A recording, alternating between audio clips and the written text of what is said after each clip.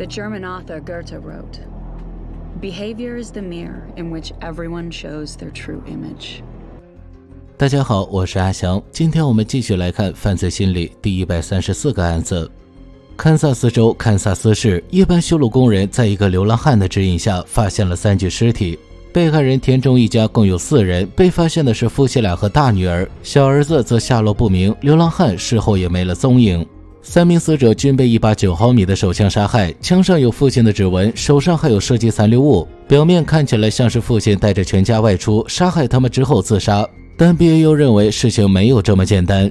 首先，家庭枪杀案一般都发生在家里。如果父亲放过了小儿子，说明对他有保护心态，多半会安置在亲友家等安全地方。但结果是，他们并未见过孩子，并且父亲的表戴在右手，多半是左撇子，但枪上却是右手指纹，因此他们判断是凶手杀害了三人，然后嫁祸给父亲，而他的目标其实是小儿子。二零一零年的性侵犯马修·霍夫曼枪杀一家人，只为了带走他们十三岁的女儿。如果凶手的目的也是这样，那么小儿子或许还活着。就在案件通报还没结束时，亚伦又接到一起全家失踪案。住在堪萨斯市郊的阿克林一家，父母和十七岁大女儿、十一岁小儿子全部失踪。他们的家庭结构和被害的山田一家一模一样，前两家人都住在舒服的郊区别墅，属于中产阶级家庭。另外，阿克林家的儿子小雷与山田的小儿子一样，都属于在学校不受欢迎的孩子，特别是小雷还患有亚斯伯格症。瑞德特别强调说，亚斯伯格症不同于一般的自闭症，患病者语言能力完善，但缺乏共情能力，难以理解社交暗示。但他们在某些方面经常具有卓越的天赋，例如爱因斯坦或是许多的硅谷高端人才。天后布雷克表示理解，终于知道你得的什么病了。两家人虽然有相似之处，但目前看来并没有交集。如果杀人和绑架是同一个凶手所为，那么凶手是如何接近他们的？被绑走的男孩是否还活着？那个暴尸的流浪汉是否有嫌疑呢？亚伦和 J.J 赶到当地警局，得知警察还没有找到流浪汉，于是他们先询问了被害者家属。山田的母亲表示，他们只是一个平凡的家庭，并没有任何异常之处。警方曾怀疑阿克林因为拖欠贷款而带着家人逃跑，但他的弟弟说，阿克林虽然遭遇了经济危机，但他绝不是个逃避责任的人。组员们分头调查了两个现场，从房间遗留的种种痕迹推测，凶手是从小儿子的房间进入的。两个孩子的房间都在二楼，且都有一定的社交障碍，是全家最容易被控制的人。凶手先是挟持了他们，然后威胁其他家庭成员，绑住最有反抗力的父亲，再利用男孩绑住母亲和姐姐。所以，即便凶手只有一个，也能控制住全家人。两家人的房子都是独栋别墅，距离邻居很远，也为凶手制造了有利条件。阿克林一家被带到一个密闭的房间，取下头套时，姐姐才发现弟弟不见了。他们不知道自己身在何处，极力呼喊或是砸破窗户都没有任何作用。折腾了几个小时后，姐姐口渴难耐，但谨慎的妈妈一手打翻了水杯。在罪犯的地界上触碰任何东西都是危险的。三人焦急地等待着，不知道下一步会发生什么。而这时，儿子小布正在和凶手聊天，他似乎没准备伤害自己，就算是有，小布也意识不到。凶手告诉他，他们必须答对自己的几个问题，否则就死定了。不久后，山田家的小儿子在一个关闭的工地被发现，尸体的位置靠近大门，显然是故意让人发现的。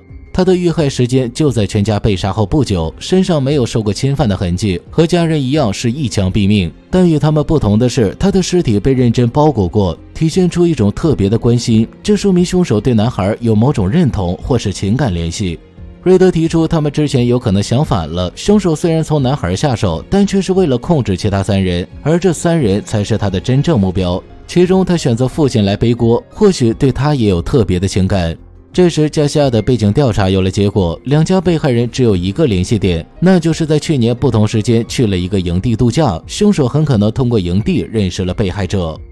被困了一整夜后，阿克林还在不遗余力地折腾窗户，但坚固的铁网根本无法撼动。姐姐担心小布的病会激怒凶手，但妈妈却说亚斯伯格症不是什么病，反而会让他极具天赋。但下一秒，他的这种自信就被打击了。面前的窗户突然透过光线，小布的家庭教师被绑在那里。凶手的声音传出来，要求阿克林告诉他的妻子这个女人是谁。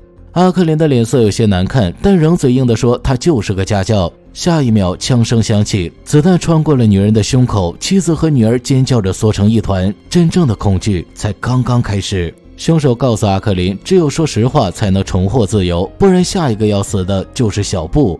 阿克林只好承认自己曾和女家教偷情，但只有两次，并且已经分手了。听到这话，妻子立马不淡定了，合着全家被绑架就是因为你绿过我。女儿立马上前打住，说这已经大难临头了，谁还在乎老爸跟谁睡过？于是母亲没有再争吵，但拒绝再和丈夫交流。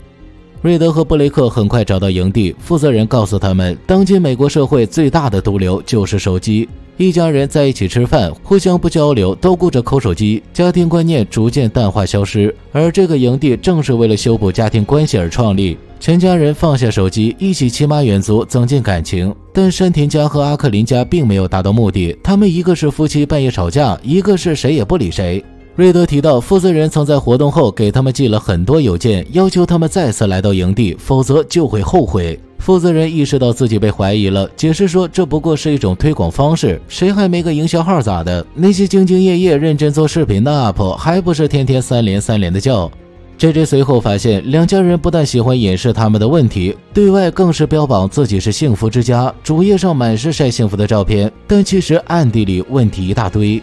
加西亚查到阿克林太太患有抑郁症，过去五年一直在服药。而山田在海外有一个秘密账户，貌似在进行贩毒等非法活动。而且在他们的家庭主页上，有一个叫全能之眼的家伙，曾经关注了他们每一个网页、每一条信息，直到这个家庭消失。警长对这个全能之眼很是熟悉，他叫伊兹，曾在几年前被怀疑枪杀了一对夫妇。而经证实，伊兹就是当晚那个流浪汉。B.A.U 很快审问了伊兹，发现他有严重的妄想症，根本说不清自己是怎么发现尸体的。他的思维模式非常混乱，根本没有能力策划这样一场犯罪。但从他的只字片语中，布雷克还是筛选出了与凶手有关的。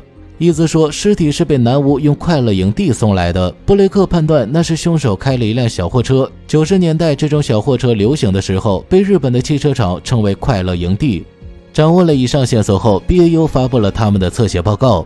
疑犯没有自己的家庭，心怀嫉妒，并想毁掉自己无法拥有的一切。他的家庭残缺，成员去世或被杀害。他利用营地或是网络信息了解并监视两家人，惩罚父亲的过错，并将他作为替罪羊。被绑的小儿子则映射了凶手自己。男孩的年龄可能与凶手发生家变的年龄相同，导致他与之产生情感共鸣。这说明凶手的心态处在发展受阻的状态中。推测他的年龄在四十岁左右，拥有能够实施两起绑架案的智谋，可以有效控制一家人的场所，驾驶一辆重新组装过、能够隔音但不透光的小货车。根据作案的时间间隔，他现在很可能已经开始监视下一个家庭了。警方继续调查被害人的社会关系，很快又发现阿克林的女儿染上毒瘾，并结交了一个混混男友，专向有钱学生兜售毒品。而这件事也早就被凶手查到，他的下一个要发难的目标就是大女儿。窗口再次亮起灯，桌上放着一瓶止痛药，凶手要求大女儿交代这是怎么回事。大女儿知道不说实话的后果，于是干脆交代自己第一回嗑药就是偷的老妈的止痛片。妻子听后立马问丈夫知不知道这事儿，女儿却生气的怪他总是把一切都推在别人身上。其实自己偷了药，他根本不在意，哪怕差点把房子点了，他也不关心。一天到晚只知道在别人面前假笑而已。老妈哭诉自己多不容易才瞒住了女儿的毒瘾，否则她的前途就全毁了。丈夫见状失望地说：“她做了一切，却唯独不会做个好妈妈，真正的关心一下孩子。”就在他们争吵的时候，女家教的尸体被发现。根据通讯查到，在他被害前，阿克林的弟弟曾安排他和哥哥幽会，因为他很不喜欢自己的嫂子，觉得他只会大手大脚的花钱，对家人根本毫不关心。实际情况也确实如此。老罗查到阿克林太太曾借了不少高利贷，而且还是个购物狂。丈夫出轨，老婆借贷，女儿还跟毒贩混，可以说一家人全都不干净。所以他们并不是什么值得羡慕的美好家庭。B.A.U 发现他们之前的思路不对，凶手对他们很可能并不是嫉妒，而更有可能的是愤怒。他利用家里唯一无辜的人来逼迫其他成员为他们所犯的错误付出代价。一场激烈的争吵之后，阿克林颓丧地向妻子、女儿认错，他没有做好一个丈夫和父亲，但他们不能被凶手牵着走，直到所有人都崩溃。三人再次冷静下来，而接下来窗口又亮起，女儿的毒贩男友出现在眼前，他的旁边放着两沓钞票，凶手把选择权给了妻子，要钱还是要人？女儿立刻求妈妈救下她的男友，但母亲却对这小子恨之不及，认为女儿再次吸毒都是拜他所赐，她果断选择了钱。凶手请她好好记住这个选择，为了钱可以牺牲别人的孩子。凶手到底是如何掌握这么多家庭秘密的呢？显然，通过网页是做不到的。BAU 再次搜查了被害者的家，终于发现他们曾经翻修过房子，在采光口和通风井处发现了大量透装的摄像头。加西亚立刻调查了承包商名单，找出了几个同时参与过两家装修的工人，其中负责线路改造的亚瑟也同时出现在砌石工地的承包商中。这个巧合，凶手实锤了。四十六岁的亚瑟一直未婚，独自居住在十英亩的农场。母亲死后，他就由严厉的东正教徒父亲抚养。父亲把他当作拖油瓶，认为他妨碍了自己献身宗教。孤独的亚瑟深深爱上了对接的四口之家，多年来一直默默地观察他们。直到有一天，他发现自己的老师和那家的男主人偷情，于是愤怒地袭击了老师。一个十六岁的男孩报复老师，仅仅因为他毁了自己心目中的完美家庭。FBI 立刻出动抓人，但这时亚瑟给了阿克林一家最后一个考验。下一秒，小布出现在眼前。亚瑟告诉妻子，他选择杀死别人的孩子，现在他也要失去自己的。妻子立刻就后悔了，他不断道歉，请求再给自己一个机会。亚瑟引导他们找到了房间藏着的枪，他给出的最后一个机会是三人集体自杀，这样小布就有一线生机。他们拥有如此完美的家庭，却为了寻求一点刺激而毁了他。这是他们应付的代价。阿克林告诉亚瑟，这不过是家庭生活中都会遇到的困难。但从未有过家庭生活的亚瑟根本就不懂，他的思维还停留在童年完美的家庭幻想，发展受阻，使得他对家庭成员有着严重的道德洁癖。为了能实现这一梦想，亚瑟十几年来都在努力存钱，直到买下现在的农场，有了作为道德地的机会。而山田将要送大女儿出国，促使他加快了自己的计划。最后关头，妻子承认了自己的过错，是他的错误选择造成了现在的局面，他是最应该负责的人。于是她要求丈夫对自己开枪，但阿克林无论如何也做不到。妻子哭着告诉他，小布是他们中唯一一个无辜者，他必须活下来。夫妻两个哭着抱在一起。亚瑟最后的声音传来：“家庭是命运的恩赐，成员之间能够为对方而牺牲。上一个家庭就是因为经不起考验，才会付出代价。他们不配获得幸福。”说完，妻子把枪口对准了自己。随着一声枪响，BAU 冲进监控室逮捕了亚瑟。直到最后，他都认为自己所做的一切都是正确的。而非常庆幸的是，妻子拿到的枪里装的都是空包弹，这还真的是一场考验。但无辜的山田儿子被杀，足以说明无论考验是否通过，都会有人活不下来。一切都只是为杀人寻找的高尚借口。记得有句话是这么说的：人生深藏的秘密之一是，真正值得做的事就是为他人付出。相信幸运的阿克林一家经过此事，能够重新审视家庭的重要意义，心甘情愿地为彼此付出。而 BAU 的成员们一直都是如此，而能够对彼此充分信任和牺牲的，就是你的家人。以上就是《犯罪心理》第八季第三集的案件。解锁更多精彩的重口味、虐心、暖心的小故事，欢迎继续关注本系列更新，关注大熊观影。感谢大家收看，我们下期再见。